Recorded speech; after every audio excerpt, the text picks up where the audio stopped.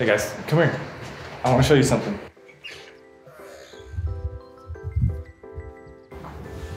My name is Sam, and welcome to the studio. Also my apartment.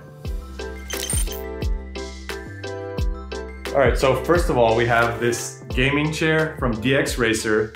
Uh, this was one of the first things I ever bought for YouTube just because I thought it would look really cool. Um, but I mean, it's like, I don't know, it's super loud. Um, like this part right here is plastic, so it hurts the back of my head. Um, and it was pretty expensive, but uh, like I said, it looks cool and, and that's the most important thing. So next off, we have the, uh, the desk itself, which is from FlexiSpot. It is a standing desk, so it has several different presets that you can set it to. Um, I'm in here a lot and um, you know, I work for eight hours, then the rest of the day I spend on like editing film. So I need to be able to have the ability to sit and stand when I want to. All of the equipment I own has been slowly accumulated over the past several years. I'm a total gearhead, so I'm always looking into, you know, what the new monitors are, the new cameras, lights, uh, anything I can do to improve the overall look of my videos. All right, so first off, let's just go from left to right here. We have the Go XLR Mini, which is a USB audio interface, and it hooks up to this XLR microphone, which is the Blue Bluebird SL. And this is connected to a Blue Compass, which connects to the back of this. So I really like this thing because it has the different faders. You know, it has things where you can control your mic volume, your music volume, your game chat. So say you're playing a game and some kid is screaming in your ear, you can just, and they're silenced. Next up, we have this, uh, this hub right here, which connects to these headphones. These are the Arctis Wireless Pro from SteelSeries in white, of course. And um, these were like $350 and honestly, not that impressed with them. Um, like if I wear these for more than like 30 minutes, they start to hurt. This top part is just like pure metal, so it hurts the top of my head. So pretty disappointed with them. Um, I used to have Beats headphones, which broke unfortunately. And I know a lot of people give crap to Beats, but I mean, I could wear those all day and they were comfortable and they sounded great. But uh, I already paid for these, so I guess I'll just keep using them for now. My setup was actually built with live streaming in mind, having a wireless headset, an XLR mic, an audio interface with faders so I can adjust the volume on the fly. It was something I was doing at the beginning of last year a lot, I would go on Twitch and stream coding, gaming, uh, just general chatting, but I kind of took a back seat, but it's something that I've always wanted to do on a regular schedule, and it's something that I plan to do more of in this coming year. We also have the Xbox controller. Now, I don't have an Xbox, but these connect wirelessly to my gaming PC. So, you know, if I ever just want to get a quick game in, I have this controller here. I also have this Nintendo Switch because why not? Who doesn't want a Switch? And uh, this is more for like, if I just want to do some like casual gaming, uh, I definitely bust this out.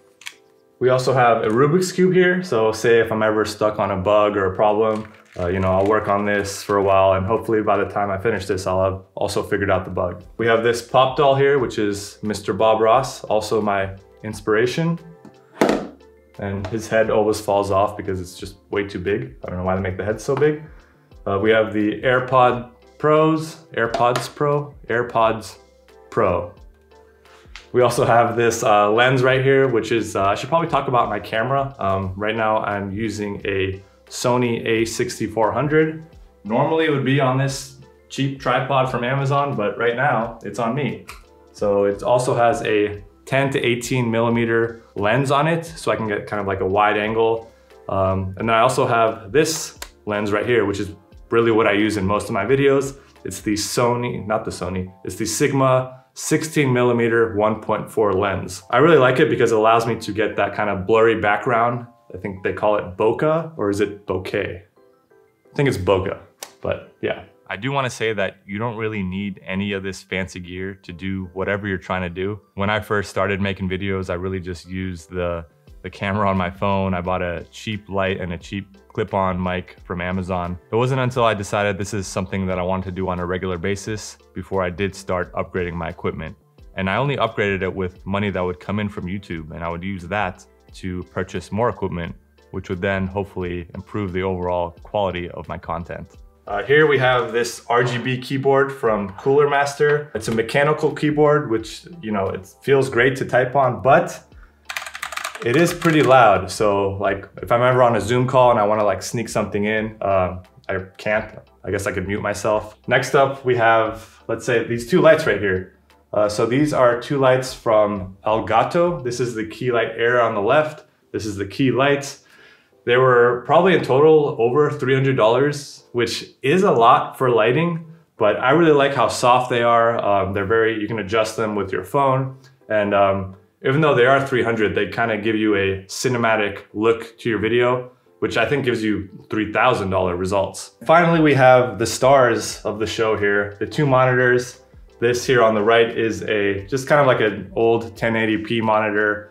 On the left here is my baby. I just got this in a few weeks ago. This is a 27 inch 1440p 144 hertz gaming monitor. And I mean, once you get this, you really can't go back to a 1080 monitor. I think it's, it's kind of a game changer. As a content creator, I try to avoid purchasing things that'll just make my experience better and rather spend that money on things that'll make the content better, whether it be buying a new lens or, you know, recently I hired someone to redesign my logo. But I finally did give in and purchase that monitor and uh, I don't regret it one bit. So that's everything on the desk here. Let's talk about my PC a little bit. If you wanna just come down here real quick. So this is a pre-built gaming PC from iBuyPower. Um, it is a few years old, but I did buy it with like the top of the line specs. So even today, it's you know it's still pretty good for editing 4K video, gaming, coding, whatever. So I'm really happy with the purchase. Um, I do also have this guy right here, which is the Elgato Camlink 4K. And this is just for if I wanna hook up like a DSLR camera uh, to my computer and use it as a webcam. I did forget to mention the specs of my PC. So it has an Intel i7 7700K CPU, an MSI Z270 motherboard, 16 gigs of RAM, one terabyte SSD, and a GTX 1080 graphics card from NVIDIA. In the future, I do plan on building my own PC, but for this one, I just didn't really want to go through the hassle of it. And um, by the way, all everything that I listed will be in the Amazon link down in the description. All right, now let's talk a little bit about the background that you guys see in my videos. Um, but actually, I almost forgot. This right here is a MacBook Pro. It's a 2018 15 inch. Don't really use it that much since I do have the gaming PC, but I don't know if I'm ever like traveling or I don't know if I'm ever like want to just lie in bed and like watch some Netflix, then I'll, I'll bust this thing out.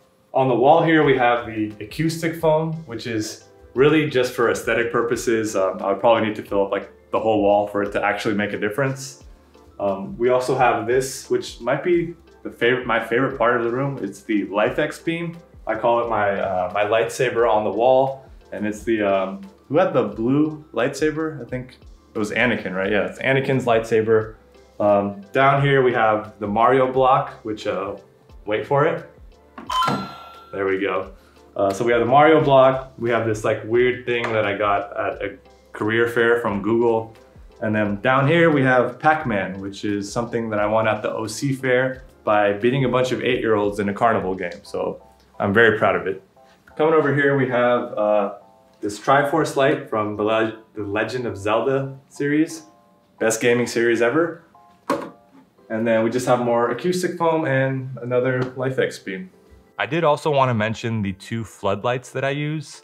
They were super cheap, like 30 bucks each, but they make such a big impact on the overall video. I like to set the mood with my lighting and I feel like it really allowed my videos to stand out amongst the ocean that is YouTube. And I've gotten a lot of compliments on my lighting, so I'm all about something that's super cheap but can make a large impact. All right, so that's gonna do it for the tour. Thank you guys so much for watching. All this stuff was made possible thanks to you guys for watching my videos, liking them, sharing them. So I really do appreciate that. And I'm really excited for, you know, the ideas that I have planned for you guys uh, in this coming year. So as always, thank you guys so much for watching. And as always, keep on coding.